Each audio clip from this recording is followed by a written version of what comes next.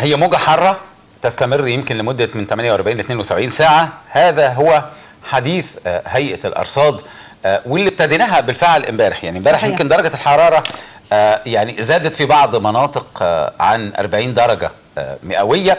لكن الحقيقة إحنا بنشهد في هذا التوقيت من العام يعني نوع منخفض نسبيا عن درجات الحرارة اللي هي بتبقى في مثل هذا التوقيت. يعني أعتقد إن إحنا يعني حتى بالليل الجو بيبقى لطيف قوي بيبقى حلو قوي آه على أي حال هي هيئة الأرصاد الجوية بتتوقع أن النهارده الخميس إن شاء الله هيشهد ارتفاع طفيف في درجات الحرارة هيسود طقس حار على القاهرة الكبرى والوجه البحري وشمال الصعيد معتدل على السواحل الغربية مائل للحرارة على السواحل الشرقية حار على جنوب سيناء وشديد الحرارة على جنوب البلاد. بالنسبة بالليل زي ما قال آه، محمد. محمد هتبقى يعني طقس لطيف.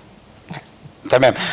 والحقيقة يعني نتوخى الحذر في ساعات الصباح الأولى. الناس اللي مسافرة في بعض الشبورة مائيه ممكن تتكون. آه والحقيقة في مناطق هيكون عليها بعض رياح في السواحل الغربية وتمتد أحيانا إلى القاهرة.